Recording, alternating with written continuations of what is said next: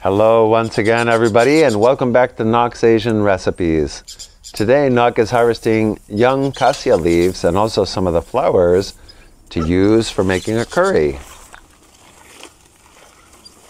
Cassia tree is from South Asia and Southeast Asia, and it's very common to make different kinds of curries and stews with cassia leaves. And today, Nok has access to the fresh leaves here close to our house. In some places, they use mostly the dry leaves, but it's an advantage, of course, to have fresh leaves available.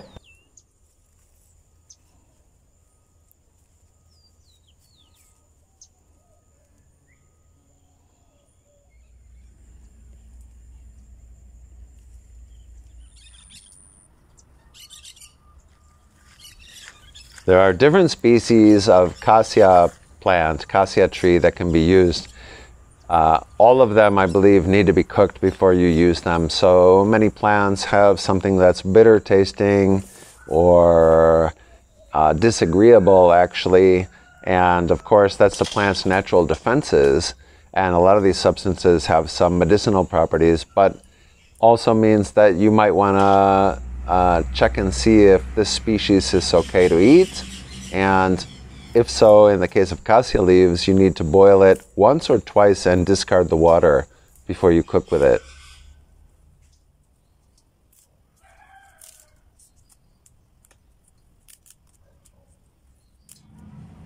So Nok has separated out not only the leaves, but some of the flowers, right?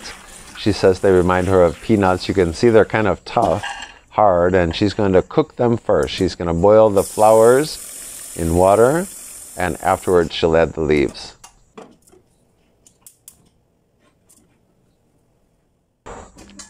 And the leaves, before she cooks them, of course, she's rinsed them a couple of different times with water and drained them and rinsed them again, clean them up really nicely. And now she'll add them to the flowers, which have been boiling for about 10 or 15 minutes. So she'll get her leaves into the pot, let them boil up with the flowers. And these are going to boil for about 15 or 20 minutes more together with the flowers. And at the end of this period, then you can see that they've turned a kind of a brown color. And she's going to discard the water and rinse these off.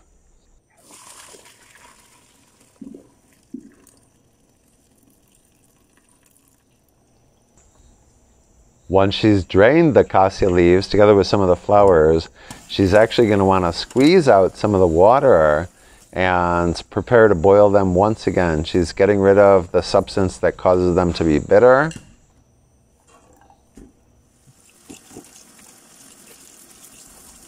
And she's going to rinse them again and drain them out in the strainer. And then she's going to get ready to cook them a second time.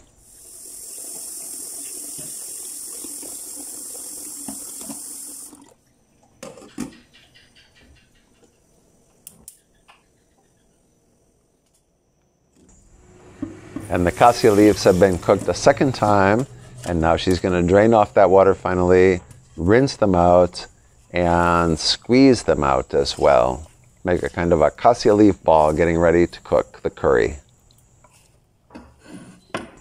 And cassia leaves can be a little bit tough, and so she's going to cut them up into smaller pieces before she cooks them together with the curry to make them easier to eat.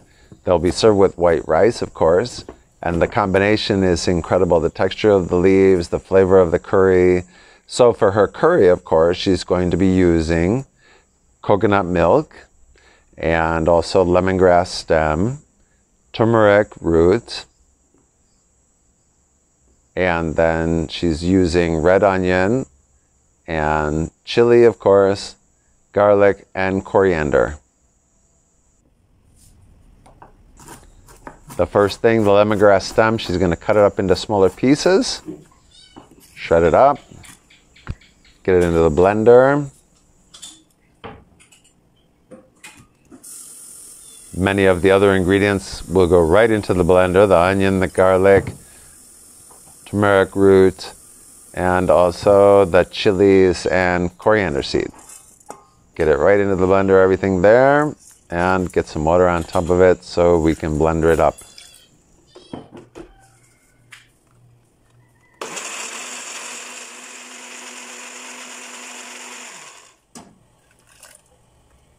And then this goes into a pot. This is the base of the curry sauce, of course. Rinse out the blender, get all the goodness out of there, everything that you've got from our garden, our turmeric from our garden, lemongrass from our garden. And she's gonna boil this one up. So once she has all the flavor going there from what she blended for her curry sauce, she'll add the cassia leaves, which she boiled a couple of times before to get rid of the bitter, her coconut milk, and now this is looking like a curry. It's looking and smelling like a good curry. And at the end, she's going to add some salt, of course, for flavoring. Cook it all up together.